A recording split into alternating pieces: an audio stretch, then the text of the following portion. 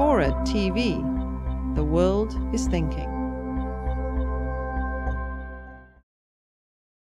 Um, on the other hand, um, large, large percentage of uh, human beings on this planet, not just in Western culture, but uh, all over the, the world in many, many cultures, um, feel very strongly about the accuracy and the truth of revealed knowledge.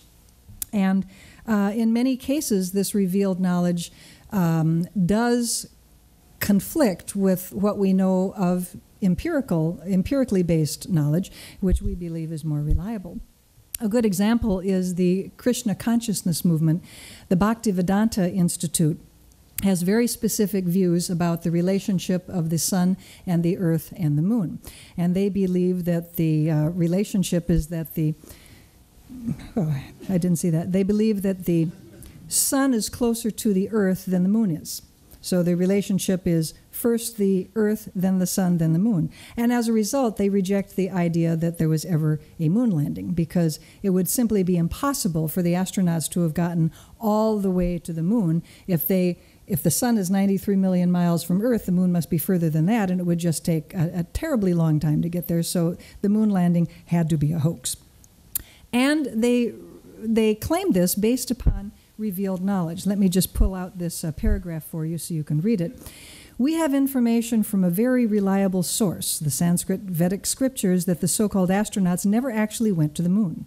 Although most people hold it as an article of absolute faith that man first reached the moon in July 69, the manned moon landing is actually a colossal hoax.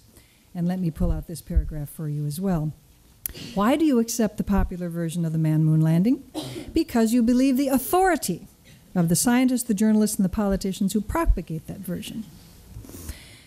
When we cite Vedic scriptures which state the astronauts could not have gone to the moon, we are simply favoring another authority. You got your authority, we have our authority. I would like to suggest that actually the authority of science is a little bit different from that. I mentioned before that if Steve Weinberg says something about quarks, I'm very much inclined to accept it. But it's not the same way as the Vedic scriptures are accepted by the Krishna uh, consciousness folks.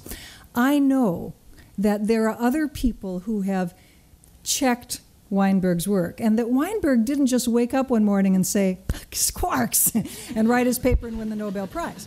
Um, it took a while to sort of work out all of the pieces, and that this was a process that he, he followed a process that scientists understand to come to his conclusions about quarks. And the process involved a lot of testing and a lot of analysis and a lot of logic and a lot of empirical evidence and so forth.